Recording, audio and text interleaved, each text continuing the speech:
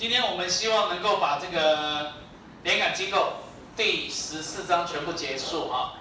那我们上次讲到了这个摆动滑块曲柄机构的应用啊，你翻开课本或你手边的这个讲义哈。那它我说过哈，第十四章这里在统测来说，它最常考的都就是考应用。那你们学习最重要就是看到那个应用的机构长什么样子。所以老师用这个投影片啊，幻灯片，它这里有动画，你可以看到，这里就是一个摆动引擎。那摆动引擎呢，你看它这里有这个模型组啊，它基本上就会摆动啊，你看它要动，有没有看到？它要这样，啾啾，这就是摆动引擎啊。你要没有看过，请你呃上网 Google。要不然你就是请你爸爸去买一台摆动引擎，知道吗？啊，把它装在你的床，哎，床，船船，哎，床上床，你的床就可以左右摆动。这样，这很有 feel 呢。睡觉的时候就有那种摇篮床的感觉。睡下去就会几米多，几寸，一寸，一寸几公分？零点零一公分。错，好大呀！一寸二点五四公分，所以一个晚上就会长二点五四公分，好不好？好。再给你送你，你现在是已经一百七了嘛？再两寸就是模特儿，一百七十五。好，来继续讲下去。各位同学，我们继续讲下去，第四种啊，叫做固定滑块曲柄机构。顾名思义，来，请看一下，这就是固定滑块曲柄机构。固定滑块，那请问滑块是不是固定？是的哦。来，请看，有没有动态？有，这里就是一个固定滑块曲柄机构的应用。手压抽水机，请问你们家有没有看过这种东西？手压去抽水机？没有，我们家都没有。家里有？对，举手。蔡家，哎，现在这个古董哦。这个哈，做动的时候就是这样拉这个杆。请问在拉杆的时候，这这个地方会不会动？这个地方会不会动？不会动。这个地方就好像是固定区，呃，就固定滑块，所以这个才叫做固定滑块。这一块不会动哦。它动哦，它就会上游，这就会水就从下面抽起来，地下水。哎。趁现在赶快哦，这个快要失传了。如果将来不见了，请你赶快去收购一个，我看上看四万块。不会，子弹工还有。赶快去拆，不是，不能拆。去拆啊！不能拆。啊，我会被告了。啊，不能被分，不能不能拆，不能被告，不能犯法。这就是实体图，手压抽水机。我会被三打屁股。啊，抽水。好，看一下应用哈。接下来，手压抽水机翻过来，请你把那个手课本哈，手压抽水机圈起来，很重要哦。这就是一个固定滑块曲柄机构的应用。接下来我们要介绍等腰连杆组，等腰连杆组啊，等腰连杆组，等腰连杆组。在连杆机构的种类与应用，它是属于第二类，因为第一类是有含一个滑动对的连杆机构。现在跑到第二大类哦，第二大类就是等腰连杆组。同样的，这一个区块啊，也是最重要，就是考应用。那什么叫做等腰连杆组呢？顾名思义，连杆一定会等腰相等。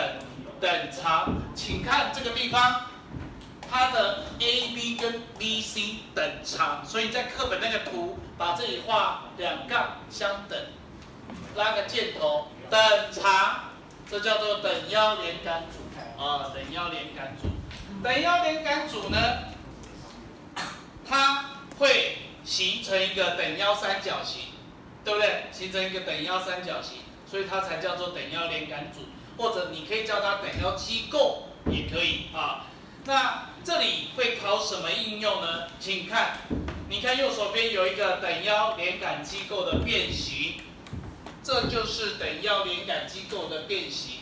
你看哦，它这里是都是固定的？所以它这个两个滑块会这样滑，又有十字架这样滑，哦，这里固定，所以两个滑块之间距离是一样的，这是一个变形。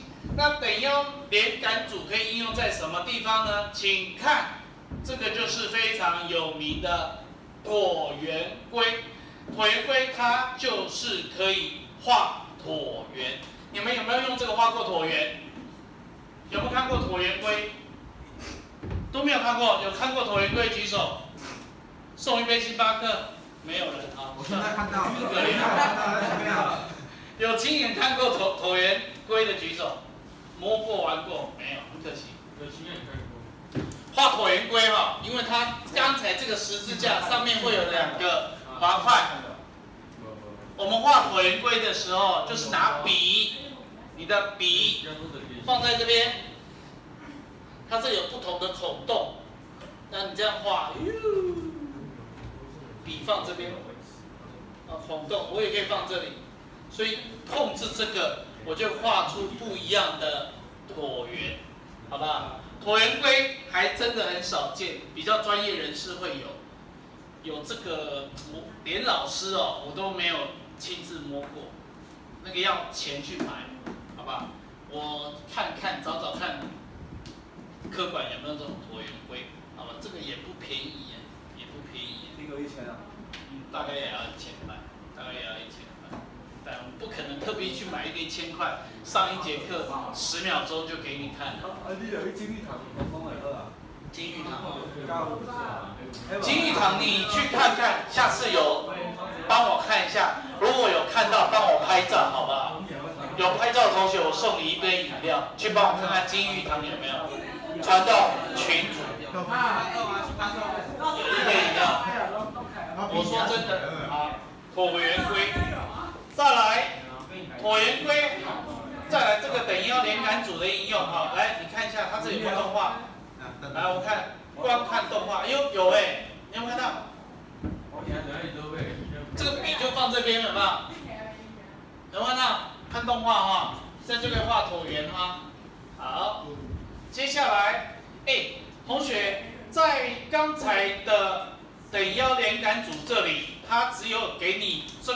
个应用，请你翻到一百三十三页下一个，还有另外一个应用，就是非常有名的欧丹连接器，把欧丹连接器圈起来，也就是一百三十三页最上面的欧丹连接器。它欧丹连接器就是两个平行轴长这样，好吧？你可能没有看过，大概长这样。然后这里有一个欧丹连接器，这里这样，它里面中间有三块，这个会旋转。你简单画一下这个，那这两个轴是平行的，请你简单画啊，画在课本的欧单连接器的旁边，这个就是长得像欧单连接器。当然我是简单画啊，里面会有三块，这里转，这个也可以转，这叫欧单连接器。好，接下来是平行曲柄机构。这张画讲了第四次了，再来平行曲柄机构就是两个曲柄是等长的。来，你有没有看到？这两个是不是一样长？虚线这两个，它这样就就会变成平行四边形，有没有？这两个一样长，请你做一个符号，哒哒哒哒，这两个一样长，而且这两个一平行。这就两个就是曲柄，这叫平行曲柄机构，啊，平行曲柄机构，所以它运动的时候，这两个就有点像是双胞胎。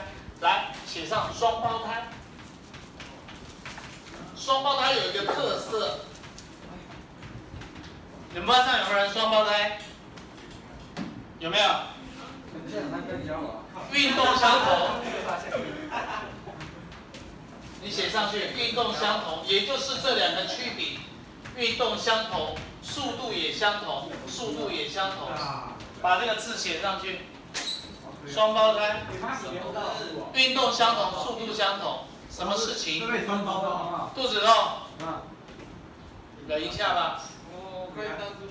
你想大便，那不叫大便，那不叫肚子痛。那叫你下课没有去大便，你早上没有去大便。有，我早上有。你很急吗？很急？不急？三分钟。多急？被老出来到动了。急？你不要，其他不要讲，你多急？你问你啊，你有很急吗？十万就有点痛。哦，那还可以忍啊，继续忍。老师，老师，来，什么叫双胞胞啊？哎，写错了，双胞胎，要写哦。我现在写的东西哦，我要求的不多，但你一定要写哦。这两个是双胞胎哦，双胞胎有特色哦。心里想着两个，你们班上有没有双胞胎？没有。谁？陈建仁呢？陈建仁。建仁。我跟你讲，你的弟弟哈。他弟弟加我。就是一样，长得跟你一样，对不对？来，陈建仁，你来。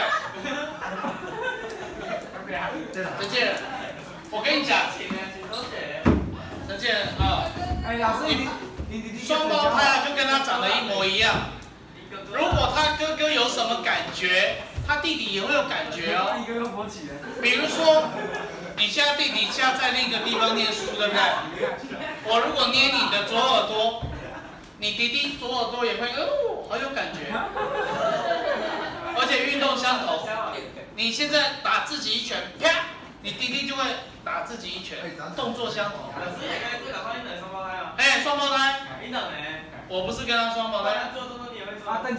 我是举例，他的弟弟会这样。你很急吗？现在很急啊，两分钟，两分钟哦，两分钟没有回来就表示急。啊，现在开始计时，两分钟，懂吗？运动相同，速度相同。好，谢谢你。所以他这里做如果等速圆周运动，他也会做等速圆周运动哦，知道吗？好。那你会说，老师，曲柄平行曲柄机构有用在什么地方？来，我们看看下面的例子，铲斗机，有没有看过铲斗机？铲斗机就是地上如果有雪，它就这样铲铲铲，有没有？你有没有看到这两个有没有平行？有，这叫做铲斗机，知道哈？它会铲地上的，或者我要搬东西。有没有去仓储就会有铲斗机？再来还有什么运？还有什么应用呢？平行尺，平行尺就是可以画平行的尺，对不对？可以绘制平行线，这就是平行尺。再来，佛伯，念念错了，劳劳佛佛天饼，有没有看过这种天饼？中药店有没有？有，这也是，你看这两条红线有没有平行？有平行的，有没有？所以它也是一个，也是一个平行曲柄机构的一个应用啊。再来，我们看下面一个，这有没有看过？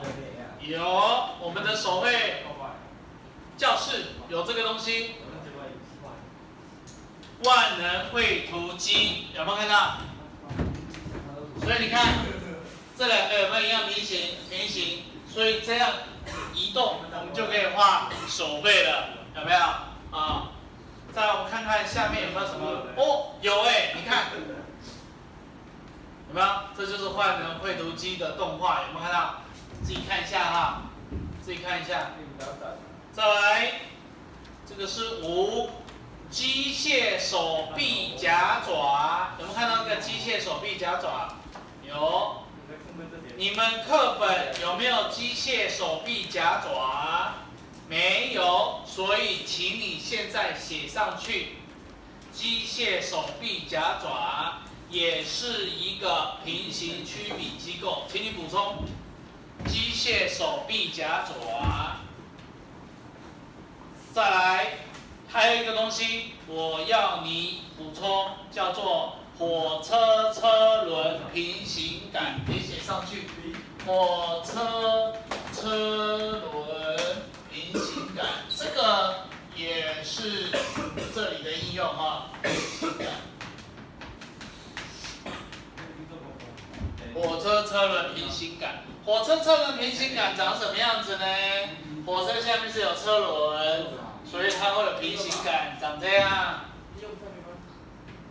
长这样。所以火车，你们小时候幼稚园不是有玩接火车的游戏吗？是不是都这样做？请敲，请敲。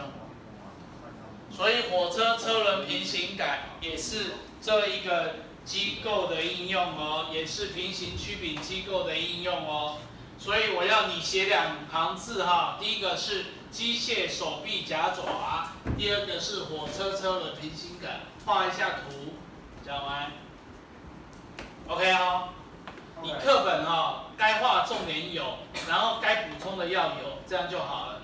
我没有要求你太多哈，写太多笔记哦。重点是你要听懂啊。接下来下一个要介绍相等曲柄机构。相等曲柄机构，它意思就是两个曲柄是一样长，相等，但是有没有平行？你觉得这个跟这有没有平行？没有，所以你在上面要写不平行，写一个括号，一定要跟前面那个做一个区分，这叫做不行不平行等曲柄。来写上去，不平行等曲柄，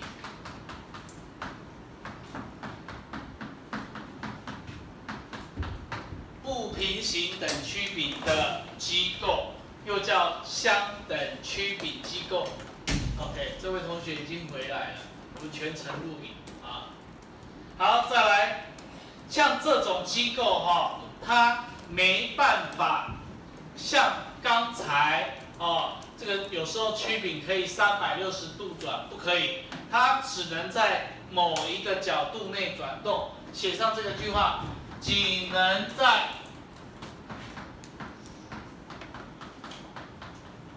某角度内，某角度内啊转动。这叫做不平行等曲比，也就是相等曲柄机构。我现在叫你写都是重要哦，打一个五颗星哈。仅能在某一角度内转动。来，请你看一百三十五页，老师告诉你重点。啊，第一个重点，他说这个机构的两个曲柄虽然等长，但是转角不等。好，我们这有动画，请你看，转角不等有没有？它的背打跟翻不一样，所以把转角不等圈起来。转角不等，边画边看动画边了解。转角不等，那有什么应用呢？最重要的应用就是我们汽车在转动的时候，汽车怎么转弯？方向盘，方向盘方向盘转弯的时候，请问是转前轮还是转后轮？前轮。前轮不错。请问转动的时候，哎，那我先问你，后轮是做什么用？来，没有人知道。后轮一般是动力轴，动力提供动力。当然，有的车灯是有没有听过四轮驱动？就是四轮都是动力，有没有？一般后轮如果让它打滑，跑到泥巴里面，车子就前进不了，知道吗？啊，除非你是四轮驱动，前轮也有动力，否则前轮一般来说都是负责控制方向。但是我现在考你一个很有水准的问题。请问车子如果我要左转弯，现在想象哈，我要左转弯，我方向盘是不是左转打？对哈，我要左转弯，请问我的左轮的角度跟右轮的角度会一样吗？会。有人说不会，陈博彦，你的智力已经超过刚才那个同学了。他说两个前轮角度是一样，错。我要左转的时候，来陈博彦，我现在问一些更专业的问题。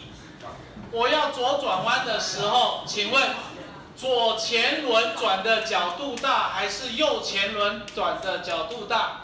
搞不好连你爸爸都不知道。对，来，请看，这是车子的前轮，我要左转，请问左转弯的时候是不是这样整个车子转过去？但是这个要转要打嘛，对不对？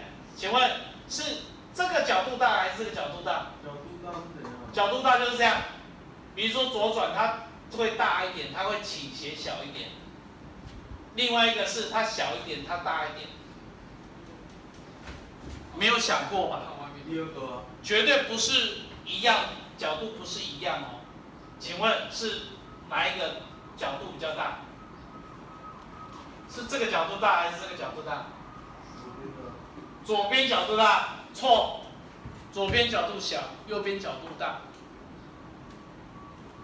真的吗？不对，左边角度小，你答对了。对，左边角度大，来。我来帮你看一下，呃，来，请看下面第三行，当汽车右转的时候，把右转圈起来，右轮转动角度较大，把右轮角度大圈起来，左轮圈起来，角度小。所以当你转动的时候，如果我要转右边，你的右轮转动角度就会大。你要转左边，左轮角度就会转得大。不信回去跟你考你爸爸，你爸爸搞不好都不知道。如果你知道，你就胜过你爸爸。三个可以去考讲飞霸，会知道这个机构哦。你将来如果去修车厂或什么，你知道比别人多，你别比别人升官的快。你可以当做经理啊，管理者。如果是考考的公公都唔办，你只能做傻傻不溜兜的机构。人家叫你做什么你就做什么。你无法提升自己，知道吗？知道的越多，人家说知识就是力量，知道吗？好，圈起来。好，所以你翻过来哈，它这里有一个重点，就是请看这个蓝色字，汽车转弯的时候，应该使两前轮的轴线跟后轮轴的延长线交于一点，把交于一点圈起来。你看这个图哈，就要看下面这个图，来翻过来。你课本这里有，有没有看到？有没有教育一点？这叫两轮的轴线，这叫两轮的轴线，有没有？都教育一点，知道吗？这就是为什么我们左转的时候，它角度要大一点，要大一点才可能，因为它这里比较短嘛，要大一点，轴线才能对到这里，这里才能顺利的车子转向。哦，如果车子前轮转。这角度一样哈，车子没办法顺利转，有时候会做成打滑，知道哈？好，这就是相等曲柄的应用，汽车转向的一个机构啊。来，请看一下，这有一个动画，有没有看到？当我右转的时候，右前轮会比较转的角度多，有没有再看一次？有没有？它右转的时候，这个转的比较多；左转的时候，这里转的比较多，有没有？这样才可以顺利转过去哈，非常好。有没有？他这里就在讲，他如果你旋转半径要越小，车子过弯的比较快，它这里就会牵扯到它的旋转的曲率中心。有没有看到 O 点会改变啊？好，这就是汽车的转向机构。那一般这个东西会在前轮，来把它写上去。前轮，在这个图的旁边写前轮。所以人家问你，哎，汽车转向机构在前轮还是后轮？你写上去前轮，旁边写前轮。OK。再来，下一个是球面四连杆机构，这个有点像是一个球，你要想象一个球。球里面有一个球的中心，所以这四个连杆有点像在那个球的球面上，这有点像是一个弧形弧面哦，啊，这个叫做球面四连杆机构，重点在于交于一点，来把这个交于一点圈起来，这一点就是这个 O 点，就是这个球的中心。所以在这里写一下，这里写哦，球的中心写在这边，交一点就是球的中心，写在图的旁边。现在写，老师上课不要求多哈，但是你要先听懂。我平常分数怎么打？我已经打完一次了哈，你只有零分或一百分，你有做到就一百分，我有扣到你们群组上啊。我要求课本上也是这样哦，不多哦。球面中心，你没做就零分哈。好，再来，那球面四连杆组有什么应用呢？这个就是非常有名的，请你把它写上去。这叫做万象接头，又叫五克接头。课本有框，紫色的线，紫色的字，请你把它圈起来。这就是万象接头。万象就是顾名思义，这两个轴可以有一千万个方向，所以这两个轴可以不用平行，都可以带动。这里转它就会转，很奇妙的一个机构叫万向接头，知道啊？这有点像是刚才我们介绍的欧单连接器，但是欧单连接器两轴一定要平行，万向接头两轴可以不平行，知道哈？欧单连接器我已经擦掉了。好，所以这个就是有名的球面。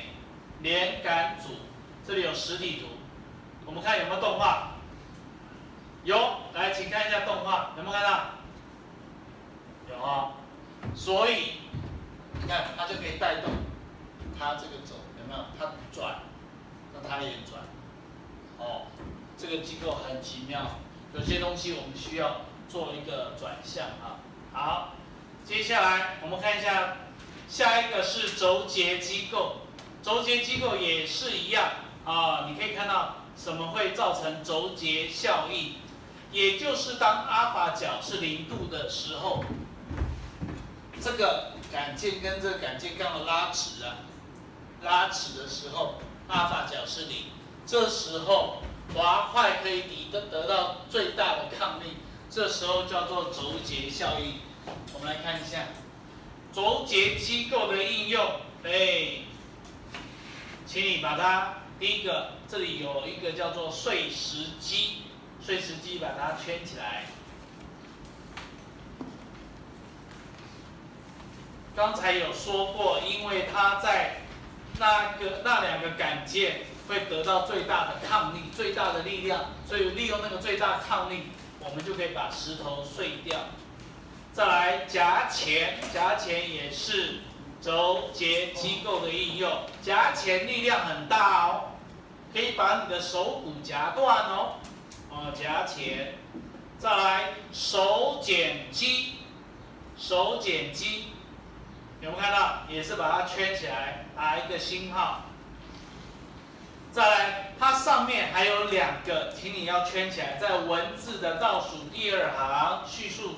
这里有一个叫做空气铆钉机，把空气铆钉机圈起来。再来第二个应用叫做压床，压床圈起来。这几个都是轴节机构的应用，所以它你其实用的就是轴结效应啊，在轴结机构旁边写轴结效应，最大抗力。写起来这八个字，在轴结机构的旁边写轴结效应最大抗力。我这样讲了一大堆，重点就是把关键字记忆到你的头脑里面，还有重要的应用，好不好？考试就是会考应用。接下来是比例运动机构，比例运动机构呢，一样，这里。不是很重要，你不需要了解它的，但是你要知道它的应用就可以了啊。你看课本这里有说，比例运动机构哦，其中一个应用就叫做缩放绘图器，请把缩放绘图器圈起来。哎，你要把缩放绘图器知道一下，那就是比例。什么叫做缩放绘图器呢？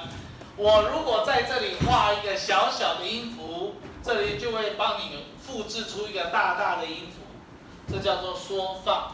缩放就是这两个会成比例，这叫做比例运动机构的应用，叫缩放绘图器。有没有看到？哦，有动画。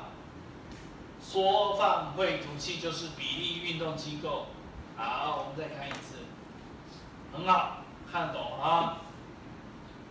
这个有的文具店有在卖，它有点像那种夹子的中间那一块区块，你可以。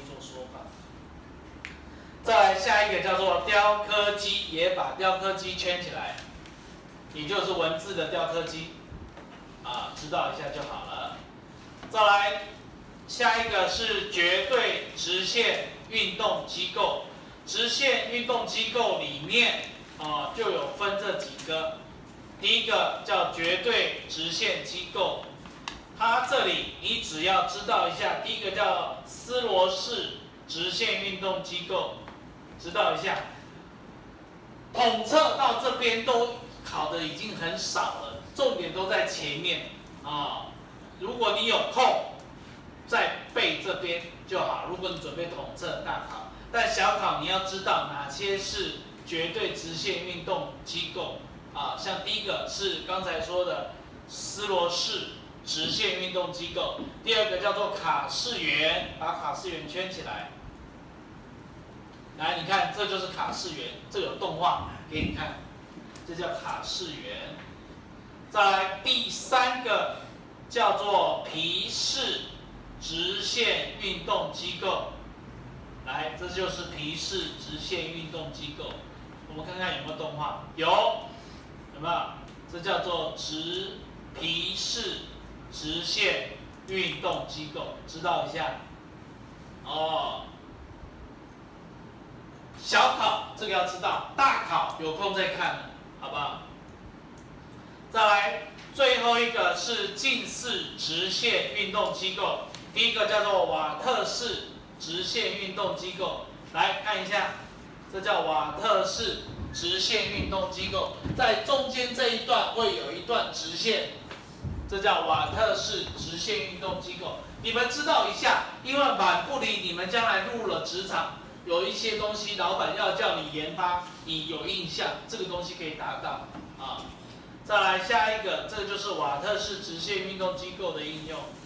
再来下一个叫做蚱蜢机构，它是斯罗式直线运动机构的一个改良。斯罗式就是刚才绝对直线机构的第一个，对不对？啊，这叫蚱蜢机构，看一下。啊，它的动画长这样。再来最后，呃，不是最后一个，倒数第二个是罗氏直线运动机构。好，我们看一下动画。哎，有个动画，有，这叫罗氏。直线运动机构，最后一个是蔡氏直线运动机构，来也看一下动画，OK，这叫蔡氏。所以老师越到后面这两个，像是近视直线运动机构这个，都是大考会考已经很少了。如果你时间不够，这后面这两个可以省略，也就是直线运动机构可以先跳过。但小考要知道有哪些，大概就好了。好，我们今天上到这里，总算把所有连杆机构全部结束。来，来帮我按掉，谢谢你。